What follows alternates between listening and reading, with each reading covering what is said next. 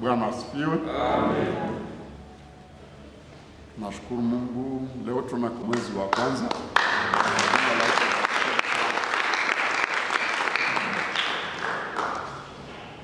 Kila siku tunayoipata ni neema, ni, ni karama pia kutoka Mungu, ni zawadi kutoka yeye. Jana imeshapita, mwenye walikuwa wanaambia jana ndio mwisho wake, ninakwambia kama leo umepata siku njema. Amen. Ndio.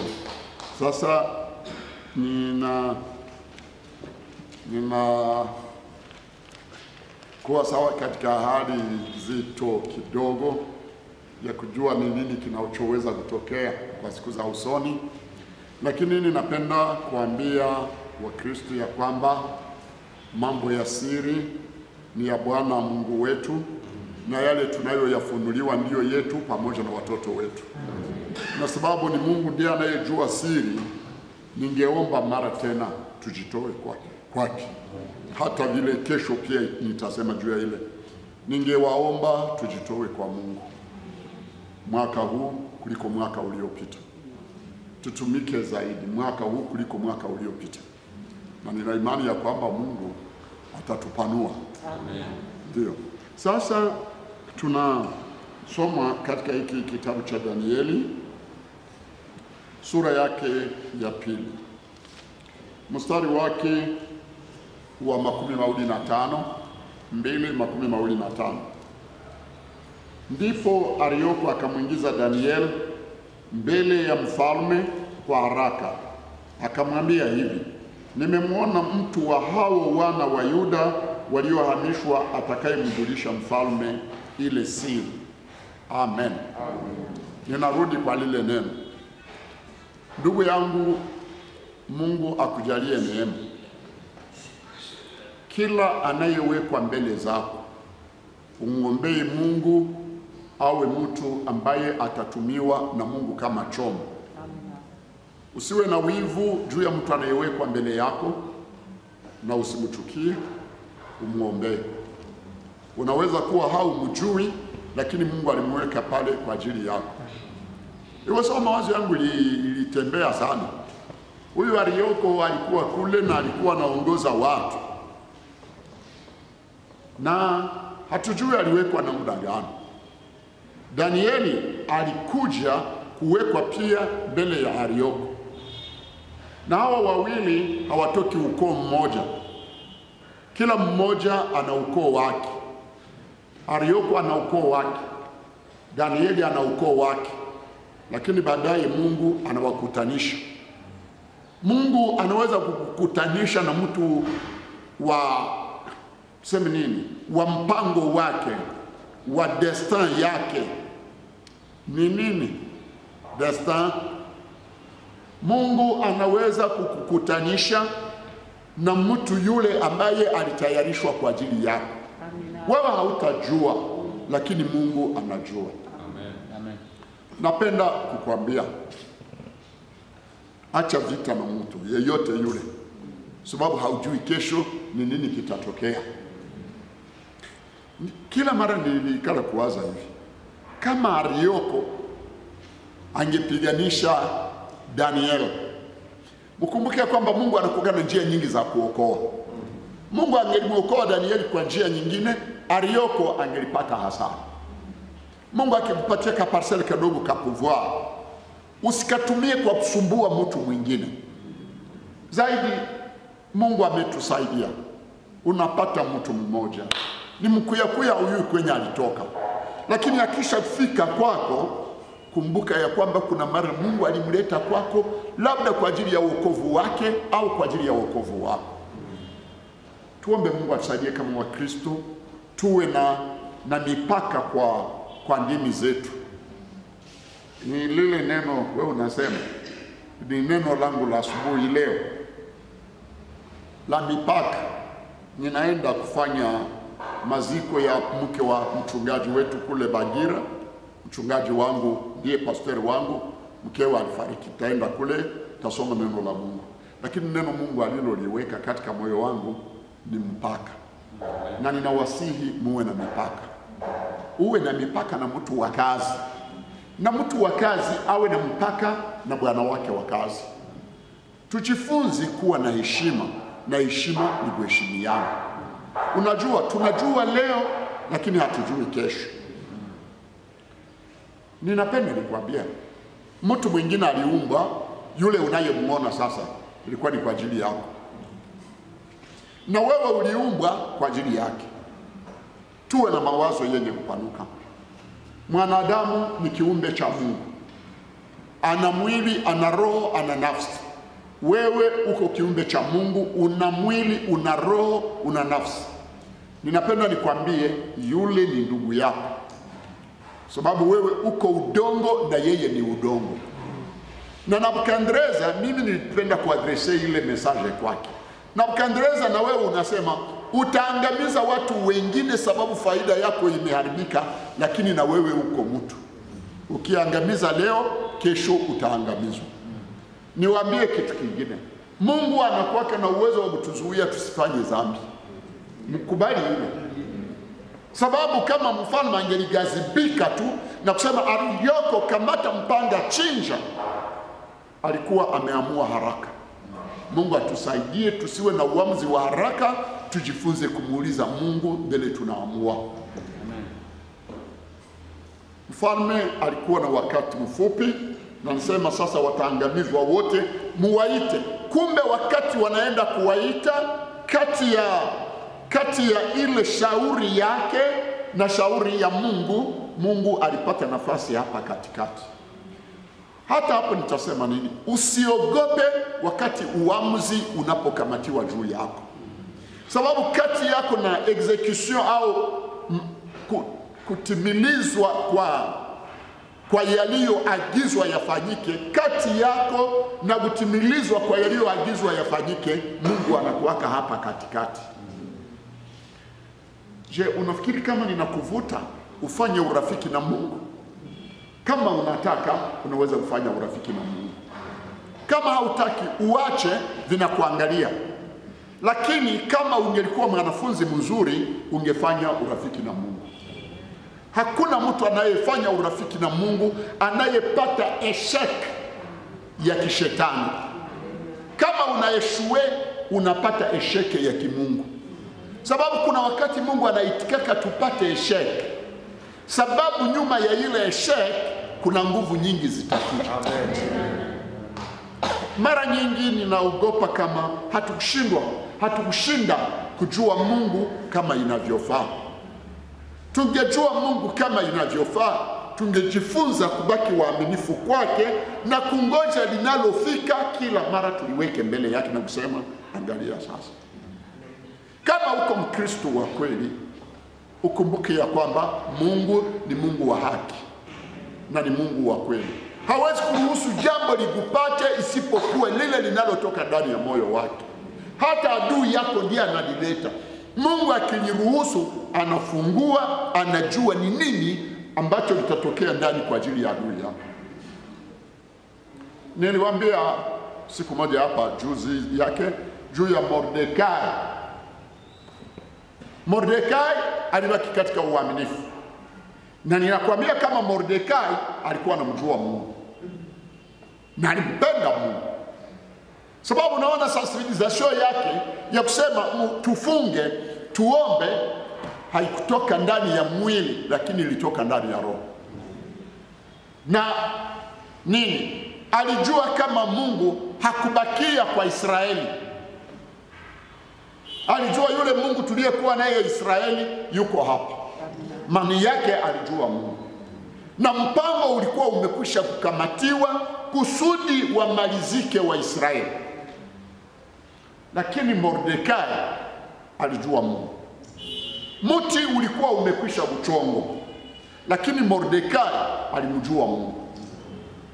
Ninataka ile roho ya pesimism, roho ya kushindwa. We kila mara unaonaga tu ninashindwa, ninashindwa, ninashindwa, nitashindwa. Mungu akujalie neema kumwaka, achana na hii roho, achana na ile roho. Mungu hayuko na wapesimisti. Mungu ni Mungu wa wale watu wanaitwa wa optimist.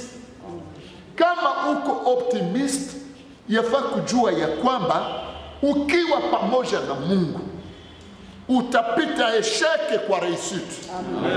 Hii ni ya lazima. Utaona utapita esheke kwa reisiti. Danieli, mnakumbuka hapa alikuwa sawa prisonier. Prison maana yake nini? Msizani kama prison ni sawa hizi zinakuwa hapa chini Kaua au zile za kabari zenyewe watu wako wanakufia hapo na njaa. Hapana, prison inakuwa nafasi. Kama unakosa nafasi ya kuishi, unafanya dega baende bakufungi ndani ya shambre. Unaweza kuwa uko na televizio yako, uko na meza yako, uko na kitanda chako, utakula mara mbili mara tatu kwa siku, na unaweza kusoma na uko ndani ya prison, na unaweza kujifunza kazi na uko ndani ya prison. Lakini kitu wanakuprive tu ni uhuru. Usiende kwenye unataka na usikule chenye unataka. Utakula chenye unapewa, lakini hauwezi kumwambia bibi yako kusema nitengenezee hii. Hapana, ni ile tu ndiyo prison. Prison ni kukuprive vitu uhuru. Danieli pia alikuwa ndani ya prison, kule kumprive asikule kila kitu anachokitaka, asiende kwenye anataka, alikuwa prisoner. Napenda kuambia Mkristo mwenzangu, hata wakati unaona mbingu zinakuima au dunia inakuima, unapaswa kuwa optimist. Amen. Optimist maana yake ni mtu anayesema ijapokuwa vinaharibika, lakini ninajua kama nitapita huu mpaka. Amen. Maana yake siku inaisha na unaona ilikuwa eshek. Optimist ni mtu anasema ninajua kama siku ingine iko ya leo ninafanyika hivi, lakini ingine iko mbele yangu, na katika Mungu ile ndio tunaita tumaini. Mkristo wa tumaini ni Mkristo optimista ambaye anajua ya kwamba leo giza iko, lakini kesho nuru itatokea. Danieli alikuwa katika ile maombi yake na alipata ufunuo wake na alienda mbele ya Arioko na Arioko yeye pia, mimi sijui kama wangelimuacha, sababu yeye alikuwa mkubwa wa wenye hekima na wenye maarifa. Inawezekana yeye naye wangelimuita baadaye. Na wakati Danieli anamwambia nimepata ufunuo, ilimsaidia Nitarudi nikwambie, mtu mwingine aliumbwa kwa ajili yako, na anamwambia Arioko, nina ufunuo. Arioko, Danieli hata na ufunuo hawezi kujifikisha kwa mfalme. Mungu akujalie neema, ujue kama mtu mwingine yuko kwa ajili yako. Amen. Unaona, hata huyu kiwete Yesu anajitokeza, namuuliza unataka nini? Si ninataka nini? Nilikuya hapa kusudi na mimi nione kama nita nitapona. Lakini wakati malaika anapofika uchipua maji, sina wangu. Ninapenda nikwambie, hata hauna wako, hauna mtu wa kabila yako, hauna mtu wa ukoo wako, hauna kolegi, kungali mtu, kungali mtu. Unataka nini? Yule mtu anasema sina wangu, kumbe anasema hana wake, ila wake yuko pale. Napenda kukwambia kama sisi ambao tumemchagua Mungu na Mungu akatuitikia, tuna ndugu, tuna baba, tuna rafiki wa karibu, naye si wa kawaida, lakini anawashinda wote. Unaweza kukosa mtu, lakini Mungu atakupatia mtu. Arioko hakukuwa na mtu, lakini Mungu alimletea mtu ambaye hamjui. Danieli hana mtu, lakini Mungu alimbeba kwa mtu ambaye hajui, na mwisho aliyokuwa alienda mbele za mfalme. Lile ni neno la tatu. Ndugu, kama Mungu anakupatia uwezo, utumie uwezo wako kwa ajili ya wengine. Acha kuwa unatumia uwezo wako kwa ajili ya wewe mwenyewe, hautazaa matunda. Arioko, wakati Danieli anamwambia, anasema nina neno nitie kwa mfalme. Hakumwomba corruption, hakumwambia ukipata kibali kule utanifanyia nini. Hapana, tusiwe tunatumika tu sababu tunataka maintere. Kuna mara shetani anatusubua, kila lolote tunalolifanya tunataka faida. Unaweza kumwomba faida na kupatia di dola, lakini kule kwenye anaenda kumbe ni mamilioni. Kama ungelimubeba gratuitement, unamwambia ninakubeba, huenda angelikupa zaidi ya kila ambacho ulichokipata. Korupsio inaharibisha nchi. korupsio inaharibisha Kongo. korupsio inaharibisha undugu. korupsio inaharibisha urafiki. Korupsio ni mbaya, Biblia inaikataza. Biblia inasema inapofusha macho. Arioko hakuomba kituliro. Arioko akaenda kwa mfalme akasema, kuna mtu, ni neno la nne, kuna mtu aliyeumbwa kwa ajili yako, aliyeumbwa kwa ajili yangu. Yesu aliumbwa kwa ajili ya sisi? Hapana, aliumbwa. Yesu alizaliwa kwa ajili ya sisi wote. Yeye ni mtu, lakini hata hivyo, ninapenda nikwambie pia kama kungali mtu. Amen. Anamwambia mfalme, katika ufalme wako, iko sawa, anamwambia hakuna mtu, lakini kuna mtu. Mungu akujalie neema uwe yule mtu. Na inawezekana kwako kwa njia fulani. Kwanza, ukumbuke Mungu katika maisha yako yote. Mbili, ujizuie katika yenye wengine wanataka, wewe ujizuie kwa yale kwa ajili ya Mungu wako, ikiwa hayapatani na mapenzi yake. Tatu, uitike katika kondisio zote ulizo nazo, ziwe mbaya au ziwe nzuri, ubaki karibu na Mungu, usitengwe na Mungu, na ujifunze kumuuliza Mungu. Acha kwenda unauliza uliza watu, utaiona pale chini. Danieli ataisema kuuliza uliza vitakusubua. Uliza Mungu, sababu Mungu anajua yote na Mungu anaweza yote. Amen. Mungu asifiwe. Kuna mtu e mfalme ambaye anaweza kukwambia ndoto. Mtu gani yule? Je, anatoka Nazareti? Hatoki Nazareti? Hapana, anatoka kwingine kwingine, kwa kabila isiyo yako, kwa ukoo usio wako, kwa lugha isiyo yako. Mungu akujalie neema, ujue ya kwamba ndugu zako wanaweza kushindwa kukutendea, lakini mkuyakuya mmoja atakutendea na baadaye utashukuru. Ule wakati watu walikufa hapa Bukavu, mwenzetu mmoja alikuwa director ya bank central, alikuwa ndani ya hii nyumba hapa, mtoto wake akafa. Hakuna watu watamsaidia kumzika, sababu watu wote walikimbia. Akaacha maiti yake, akakuya, tukamwona pale kwa barabara, ni pale an, an, anatuambia mtoto alikufa. Tuliingia ndani ya lupango, nilifanya ibada, tulizika mtoto, tukamaliza. Ule bwana wakati njia ilipatikana ya kutoroka hapa, akaenda Kishasa. Mwaka ikapita, mwaka ingine wakaniita ku Bank Central hapa, nikaenda pale nikakuta mama mmoja akisema pas waliniita kwanza Muhumba kule usiku, nikaenda kaambia mtoto twende pamoja, banamuke banakamataga batu, twende. Tukaenda na yule mtoto. Sasa tunafika tuko tunauliza uliza, anasimama kwa barabara, anasema kuna mtu mmoja alinituma ali- ali kwako, analeta furushi ya franga zapata hivi mimi nikakuya na zile franga, sikuziangalia, nikaambia tu bibi yangu, nimepata franga. Nina hesabu franga za mingi, nikatosha mocha kumi. Mi nikakuya asubuhi yake, nikaingia hapa kwa biro wainjilisti wa kanisa hili. Tulikuwa wengi sana ule wakati, vijiji vyetu vilikuwa vingali, nikaenda ninazigawanya Biblia inasema mume mumepewa bure na ninyi mtowe bure. Nikagawanya, nikagawanya, nikagawanya. Mwisho anakuya kuniita, anasema mimi ni direkteri Kazadi. Eh, nasema "Ah,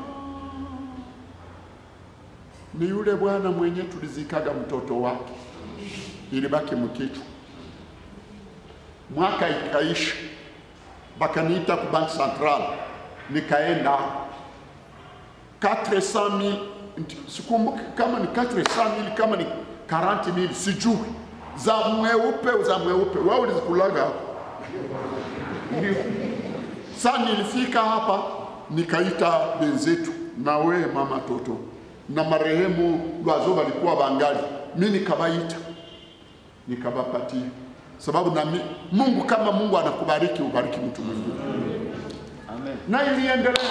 Ilikuwa imeshapita sasa miaka karibu tano, labda mwaka wa sita huu. Juzi le 29 mimi nas- mimi nasikia ananiita, ananiandikia, mimi nasoma, sikumkumbuki tena. Juu repertoire ilishaga msahau, lakini kumbe ni yeye. Juzi tena akanitumia faranga akasema uende utafute ku Western Union. Basi nikasema ni binti yangu ndo anakuwa pale.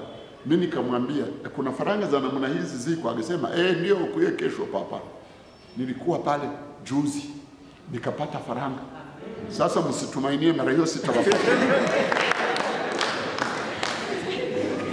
Usizani ni ndugu mnazaliwa naye tu ndiye ndugu yako. Kama ungeniuliza Kazadi huku Kubushi ni vya kulokotesha, maana yake ule ni mtoka mbali. Kama unamuuliza Bujiriri kwavo ni vya kulogotesha, lakini hata vile amekuwa mkono wa Mungu kwa kunisaidia Amen. na kunisaidia pekee, alisaidia na watoto wangu na bibi yangu na wainjilisti wangu wenye Mungu alinipatia, na wamewasaidia.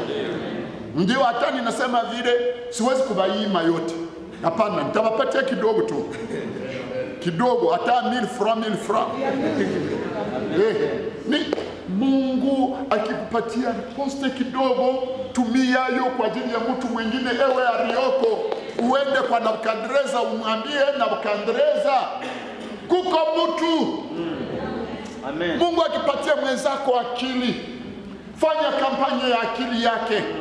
Mungu akipatia mwenzako kapasiti, fanya kampanya ya kapasite yake. Kama mwenzako ana kipawa, fanya kapasite ya kipawa chake, inani kampanya ya, ya kipawa chake. Kama Mungu anapatia mwenzako nguvu, fanya kampanya ya nguvu zake. Mungu alimweka kwa ajili yako na Nabukadreza hakukawia, mbio mbio, anasema leta yule, wewe ni yule mtu. Mungu akujalie neema, mwaka huu uitwe, uwe mtu nayeitwa, ukaribie kwenye wengine hawawezi kukaribia, uende pale bila audience.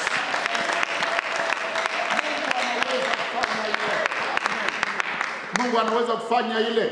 Ukibaki katika miguu ya Mungu, je za assure, utaitwa, utaitwa. Hata miaka inakawia, utaitwa, utaitwa, utaitwa. Niashukuru Mungu, ninahubiri chenye ninajua kaa ndani ya Mungu. Siku moja hata miaka inakawia, utaitwa, utaitwa. Nilikuwa ndani ya hoteli moja wanaita Piramide kule Kishaza. Ni ninajirakilia tu mhoteli, mtu mmoja aliniwekaga mule, so nikala pale. Franga mingi alikuwa analipa kwa siku, dolari mia moja na makumi sita ndiyo pamoja na chakula. Nilimaliza posho mbili fwa mia moja na makumi sita hesabu itakushinda kuhesabu, lakini mule mule ninapata mtu kutoka ikulu ya rais, wanasema unaitwa. Naitwa wapi? Kwa ikulu ya rais. wewe ushangae. hata leo wanatukana Kabila. Kabila alikuwa rafiki yangu. Mtu anaweza kukatala hata hata Kisekedi anafika hapa, nitamwambia Kabila alikuwa rafiki yangu. Mwenye anakuita na wewe hakujua. Saa kumi unaitwa, saa kumi mtu gari ya rais inafika kwa hoteli, batu bako wanaipitisha. Unajua moto ya padiri ni padiri mwenyewe banaisimamisha hivi mbele ya hoteli kusudi joto ya nje hisi isinikamate. We aushangali mtu iko ukibaki mtu mbele za Mungu, kuna mtu na utaitwa siku moja, hata siku zinakawia. Na maombi yangu ya huu mwaka ni maombi ya optimism Amen. ya ku mnisaidie na Kiswahili kizuri, ni maombi ya kutokukata tamaa. Ni maombi ya tumaini. Ijapokuwa huu mwaka ni mubaya, ninakwambia ya kwamba uko mtu na kuna mtu mwenye alitengenezwa kwa ajili yako, na zaidi mtu mkubwa ni Yesu Kristo mwana wa Mungu aliye hai. Anasema, kaeni ndani yangu na mimi ndani yenu, maneno yangu yakikaa ndani yenu na ninyi mkae ndani ya maneno yangu, muombe lolote mnalolitaka na Baba yangu atawatendea. Usikate tamaa, usikate tamaa, na msiende mnajiwekea mipaka hivi tu. Ndio mimi Mungu alionaga nitakufa. Funga kinywa, we uta, unajua vyenye Mungu aliona juu yako. Kuna wenyewe wa kuvala viatu walikuwa wanavala viatu ile ya, ya, ya nani ya migomba, lakini leo kama unawaona ni watu tunajua wenyewe walibebaga ile mitunga ya virai hivi, na mpaka wanauliza "Bi- bidibwa mandani, bidibwa mandani, bidibwa njo bitip, petipwa, bidibwa mandani. Baadaye walinunua makamio za mamercedes hapa 1924 tuko tunaangalia na macho za kukokota remorke mrefu kule tuko tunaona na macho walikufa ni watu wakubwa ijapokuwa walikuwa wachuruzi wa mboga. Na kama mungu aliwafanyia wale vile sababu gani usijitakase na umungoje mungu? Sababu gani? Sababu gani? Si, siwezi kukwambia mungu akufanye vile amenifanya. Hapana. Hapana mungu ana uwezo wa kukufanya vile anavyotaka. Mimi kama nitamalizika hivi ni vile mungu aliona.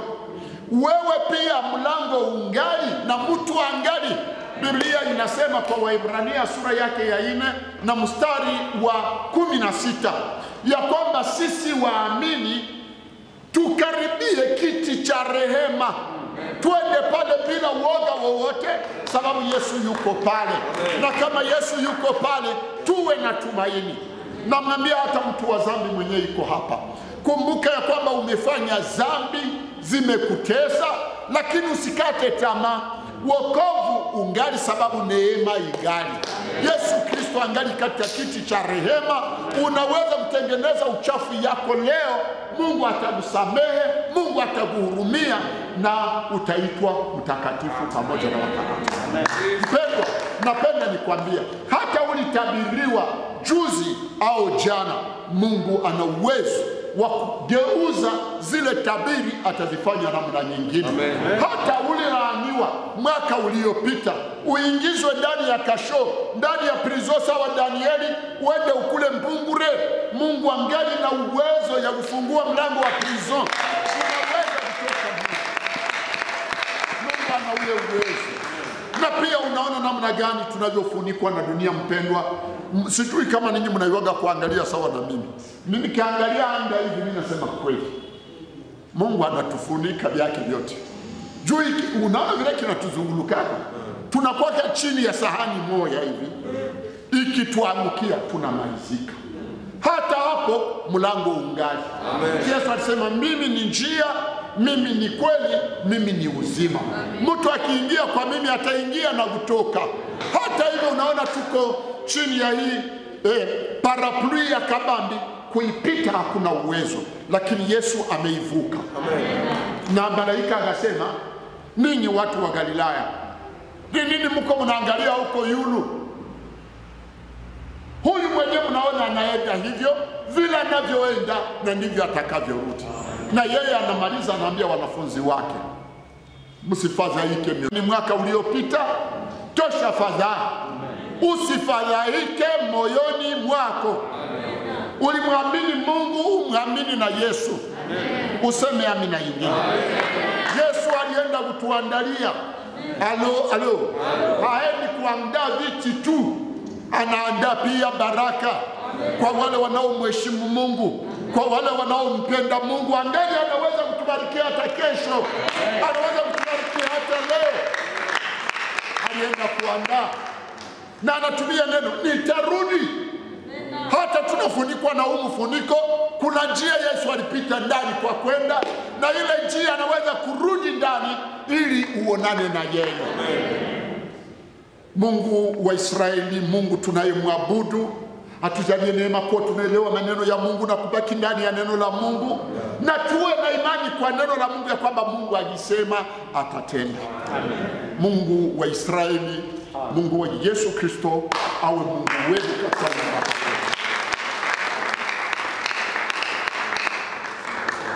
Mwenyezi Mungu Baba wetu, Mfalme Mungu wa milele, haleluya, tunakuja mbele ya macho yako kwa tarehe hii ya leo kuomba msaada wa neema. Bwana, watu wanaweza kutuacha, lakini ubaki wewe upande wetu na sisi tubaki upande wako. Wale waliokuacha tunawaombea, uwajalie neema, wajue ya kwamba kukuacha ni kuachana na uzima wakutanane na wewe mara tena katika huu mwaka. Mungu, uokowe wengi waliokata tamaa, uwasaidie Bwana, uwasaidie Bwana, wajue ya kwamba ungali ungali na unaweza kutusaidia katika mahitaji makubwa. Siri za maisha zinajulikana na wewe. Kwa jina la Yesu, ufungue siri zile ambazo zimefichwa kwa faida yetu, tupate kuzijua, na zile unaona hazitufai kwa lolote, uzifichi. Bariki hili jamaa lote, amen.